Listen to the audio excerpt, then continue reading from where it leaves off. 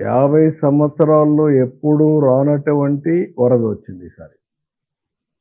వాళ్ళు ఏమంటున్నారు మేము చాలా వరదలు చూసాం ఇది కూడా అంతే కదా అనే ఫీలింగ్లో ఉన్నారు. కానీ ఇంత ఎక్కువ వర్షం ఒకే ప్రాంతంలో పడిన మొదటి సందర్భం ఇది. విజయవాడ గుంటూరు ప్రాంతం నేను చెప్పాను. ఇరవై ఏడు సెంటీమీటర్లు. ఇది అబ్నార్మల్. ఇదే క్లౌడ్ బరస్టింగ్. ఇరవై ఏడు ముప్పై ఏడు సెంటీమీటర్ ఇరవై ఏడు కాదు ముప్పై ఏడు సెంటీమీటర్ ముప్పై ఏడు సెంటీమీటర్ అనేది చాలా ఇదిగా ఉంటుంది. అందుకని మీరు చూస్తే నేషనల్ హైవేస్ అన్ని డిజైన్ చేసింది. ఒక యాభై సంవత్సరాల డేటా తీసుకొని ఆ హైట్ పెడతారు. అలాంటిది ఓవర్ఫ్లో అయ్యే పరిస్థితి వచ్చింది. సబ్మెర్జెన్స్కి వెళ్ళిపోయే పరిస్థితికి వచ్చాయి. అందుకే బ్రిటిష్ వాళ్ళు రైల్వే బ్రిడ్జెస్ కట్టారు. మీరు బ్రిటిష్ వాళ్ళు కట్టిన రైల్వే బ్రిడ్జెస్ మీరు ఇప్పుడు కూడా చూస్తే వాళ్ళు వంద సంవత్సరాలకు పెట్టుకొని దానికంటే ఒక twenty five percent fifty percent excess capacity పెట్టారు. ఆల్ అవుట్లెట్స్ ఎక్కడ బ్రిటిష్ వాళ్ళు కట్టినట్టు ఉన్నా మీరు ఒకసారి చూస్తే ఇప్పుడు కూడా ఎక్కడ అవి ఓవర్ఫ్లో కావడం లేదు. అంటే అంత దూరదృష్టిలో కట్టారు. మనం కూడా కట్టినప్పటికీ ఒక్కొక్కసారి మనం ఊహించిన విధంగా ఈ వాతావరణ మార్పులో వచ్చేటువంటి దీనివల్ల ఇలాంటివి వస్తాయి. నేను ఒకటే ప్రజలందరికీ విజ్ఞప్తి చేస్తున్నా. వాళ్ళల్లో కూడా ఒక వాస్తవం ఉంది.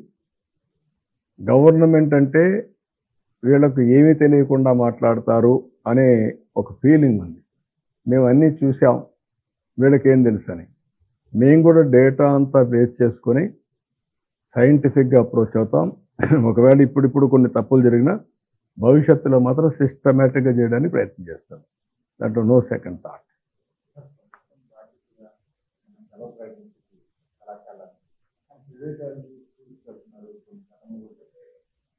స్ట్రిక్ట్గా ఎన్ఫోర్స్ చేస్తాం. ఎవరైనా అలాంటి పనులు చేస్తే మాత్రం చాలా కఠినంగా ఉంటుంది. జాగ్రత్తగా ఉండాలా? అన్నింటికంటే ప్రజల సేఫ్టీ ఫస్ట్. పిల్లల సేఫ్టీ ఫస్ట్.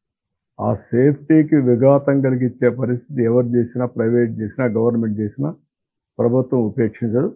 చాలా కఠినంగా ఉంటాం. మళ్ళీ చెప్తున్నా ఇలాంటి పునరావృతం కాకుండా చేయాల్సిన బాధ్యత మీ పైన ఉంది. జాగ్రత్తగా ఉండమని అందరినీ కోరుతాను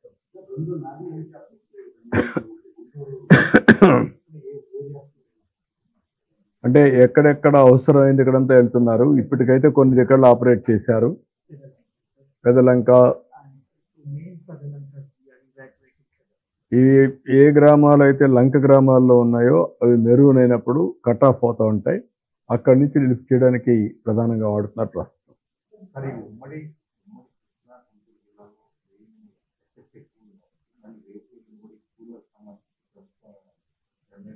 రేపు హాలిడే డిక్లేర్ చేశారు.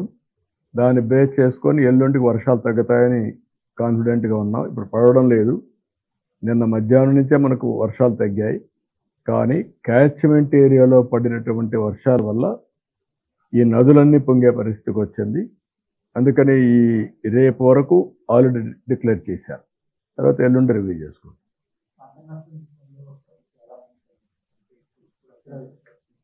అన్నీ కూడా టెక్నాలజీ ఫస్ట్ టైం ఉపయోగిస్తున్నాం మీరు చూసుంటారు. ఒక పద్నాలుగు వేల సీసీటీవీ కెమెరాలు పెట్టాం. ఆ సీసీటీవీ కెమెరాల ద్వారా కూడా ఇన్ఫర్మేషన్ కలెక్ట్ చేస్తున్నాం.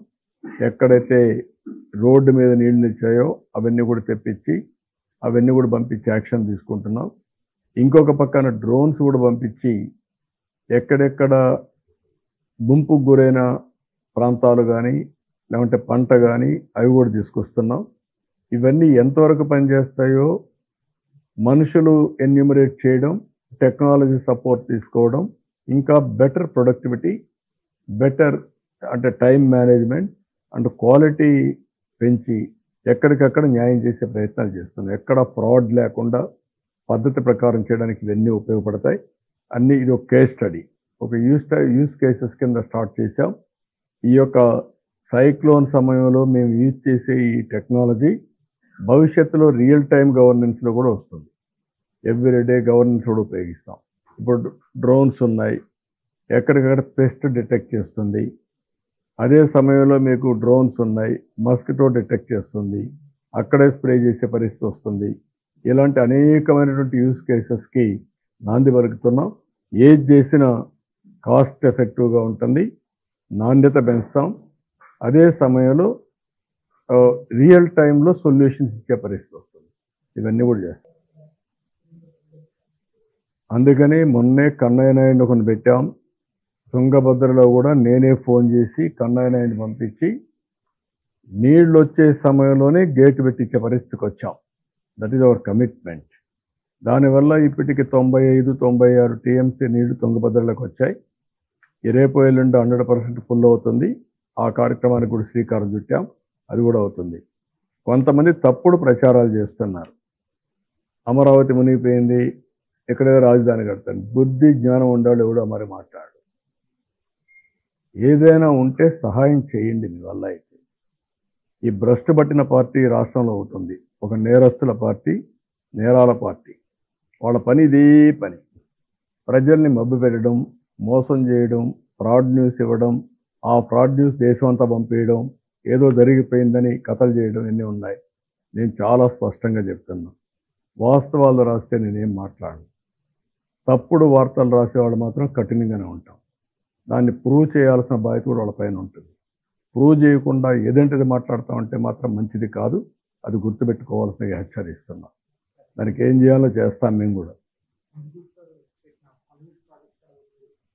ఈరోజు కొండవీటి ప్రాజెక్ట్ ఏదైతే ఉందో లిఫ్ట్ ఇరిగేషన్ పెట్టాం. ఎప్పుడైనా ఆ కొండవీటి వాగు వల్ల నీళ్ళు ఎక్కువ వచ్చి కృష్ణా నదిలో కూడా నీళ్ళు ఎక్కువ వచ్చినప్పుడు రెండు కానీ ప్రవాహాలు అడ్డుపడినప్పుడు నీళ్ళు నిలిచిపోతాయనే ఉద్దేశంతో ఆ లిఫ్ట్లు పెట్టాం. ఆ లిఫ్ట్లు పెట్టి మార్నింగ్ వస్తా ఉంటే చూశాను. పక్కన నీళ్ళు సముద్రం మారిగా ఉంది కానీ కృష్ణా నదిలో ఈ పక్క మాత్రం ఎక్కడ నీళ్ళు లేవు. దట్ ఈజ్ అవర్ కమిట్మెంట్ అదే ముందు చూపు. వీళ్ళకి ఏమీ లేకుండా నోటుకు వచ్చినట్టు వాగడం అలవాటు అయిపోయింది. ఇది కరెక్ట్ పద్ధతి కాదు. రెండోది గుడ్ల వల్లేరు. అది కూడా మీకు ఒక ఐడియా ఉండాలి. గుడ్లవల్లేరులో జరిగిన సంఘటన చాలా బాధాకరం. ఏ విధంగా జరిగింది నేను డెప్త్కి వెళ్ళడం లేదు. కానీ ఈ రాష్ట్రంలో ఆడబిడ్డలకు రక్షణ కల్పించాలి. ఎక్కడైనా సరే ఎవరైనా సరే ఆడబిడ్డల్ని అవమానించే విధంగా ప్రవర్తించడం కానీ అనుమానం వచ్చే విధంగా చర్యలు కానీ ఈ ప్రభుత్వంలో ఉండవు. ఏదున్నా నివృత్తి చేసే బాధ్యత మాది. నేను జరిగినప్పటి నుంచి నేను ఫాలో అవుతున్నాను. ఎప్పటికప్పుడు నేనే మనుషులు పంపించి ఇక్కడి నుంచి టీములు పంపించి ఎంక్వైరీ చేయించాను నిన్న కూడా ఒక మహిళా ఆఫీసర్ పిల్లలు ఎమోషన్లో ఉన్నారు. ఎమోషన్లో ఉన్నప్పుడు ఆ డిస్టర్బెన్స్లో ఉండి ఏ విధంగా వాళ్ళ మనోభావాలు దెబ్బతిన్నాయి లేదంటే ఎవరు క్రియేట్ చేశారు అనేది వేరే విషయం. ఎమోషనల్ డిస్టర్బెన్స్ ఉన్నప్పుడు మనం కూడా వాళ్ళని కాన్ఫిడెన్స్ తీసుకొని జరిగితే వాళ్ళని నిర్మోహమాటంగా యాక్ట్ చేయడం. జరగకపోతే మనం వాస్తవాలు చెప్పడం. ఇవన్నీ చేయాలంటే ఓపిక ఉండాలా? ప్రాపర్ మెకానిజం ఉండాలా? ఈ రెండు లేకుండా ఇష్ట ప్రకారం చేయడం కరెక్ట్ కాదు. నేను కొన్ని మంది చూశాను. ఇష్టానుసారంగా మూడు వందల వీడియోలు తీసేశారు. లేకుంటే ఫోన్లో అంతా చేసేసారు ఏదో మొత్తం హాస్టల్స్ రాష్ట్రం అంతా ఇదే జరిగిపోతా ఉంది. బుద్ధి జ్ఞానం మీకు కూడా ఆడబిడ్డలు ఉంటే వారికి ప్రవర్తించు కొంచెమైన విజ్ఞత ఉండాలి మీకు. ఎక్కడైనా సరే నీ దగ్గర ఎవిడెన్స్ ఉంటే ఇవ్వాలి. నీకు తెలిస్తే చెప్పాలి. తెలియకుండా కావాలని దుష్ప్రచారం చేయడం చాలా నేరం. ఆడబిడ్డల శీలాన్ని కూడా తాకట్టు పెట్టే విధంగా లేకుంటే అవహేళన చేసే విధంగా చేయడం కరెక్ట్ కాదు. దీన్ని చాలా తీవ్రంగా ఖండిస్తున్నా గర్హిస్తున్నా హెచ్చరిస్తున్నా మంచిది కాదని కూడా చెప్తున్నా. దానికి ఏ విధంగా చేయాలో మేము ఆలోచిస్తాం. కానీ ఇన్సిడెంట్ కాడకు వచ్చేప్పుడు మాత్రం నేను ఎవ్వరితో కాంప్రమైజ్ కాం. ఢిల్లీలో కూడా మేము మాట్లాడాం. సిఈఆర్టీ ఉంది. Computer engineering response team. సిఈఆర్టీతో మాట్లాడి అక్కడ senior scientist one mister Sharma Sharma S ఇంకొక విద్యాసాగర్ సైంటిస్ట్. అదే మాదిరిగా Surendra Varma another scientist Ravichandra another scientist వీళ్ళందరితో కలిసి ఒకరిని సిఏడిసి నుంచి కూడా centre for development of advanced computing నుంచి ఒక టెక్నికల్ పీపుల్ కూడా తీసుకుంటాం. అదే మరిగా పోలీసుని కూడా వన్ ఆర్ టూ ఇన్వెస్టిగేషన్ ఆఫీసర్లు పెడతాం. అక్కడ లోకల్ వాళ్ళు కాకుండా బయట వాడిని వీళ్ళందరూ వెళ్ళి అక్కడ ఏం జరిగిందో మొత్తం తీసుకొని వాళ్ళ దగ్గర ఉండే ఎక్విప్మెంట్ కూడా తీసుకొని డౌట్ ఉండే వాళ్ళందరి సెల్ ఫోన్లు కానీ వాళ్ళ యొక్క ఐప్యాడ్లు కానీ అవన్నీ తీసుకుంటాం కంప్యూటర్లు తీసుకుంటాం. మొత్తం అనలైజ్ చేసి వాస్తవాలు ఉంటే ఎవడు ఇన్వాల్వ్ అయినా వదిలిపెట్టాం వాస్తవాలను బయట చేసుకుంటాం దీన్ని అనవసరంగా క్యాంపెయిన్ చేయడం దుష్ప్రచారం చేయడం మానుకొని ఎవరి దగ్గర ఎవిడెన్స్ ఉన్నా ఆ ఎవిడెన్స్ పంపేయండి. వాళ్ళ మీద ఎంత కఠినంగా యాక్ట్ చేస్తామో తర్వాత చూడండి.